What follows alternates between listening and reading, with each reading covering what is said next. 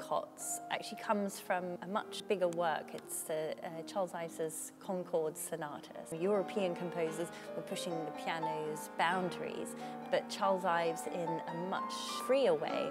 In fact, in the Concord Sonata, he uses, you have to use a specially created block of wood to play the notes because there's so many notes. He hugely respected his father and his father conducted uh, the marching bands in the local town and he would rehearse three different or four different bands and then set them off at different times. And he also taught Ives, um, young Ives, and you can hear this complexity in Charles Ives's music. So at the beginning you hear a quotation from Beethoven's Fifth Symphony.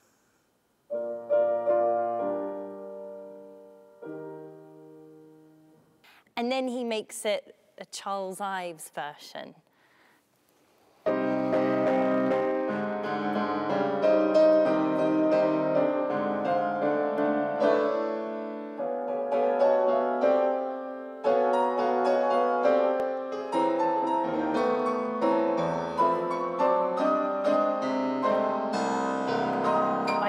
Contrast, there's also this lovely domestic, intimate feeling. So you'll hear a little quote in here from the Loch Lomond little folk tune, Scottish folk tune.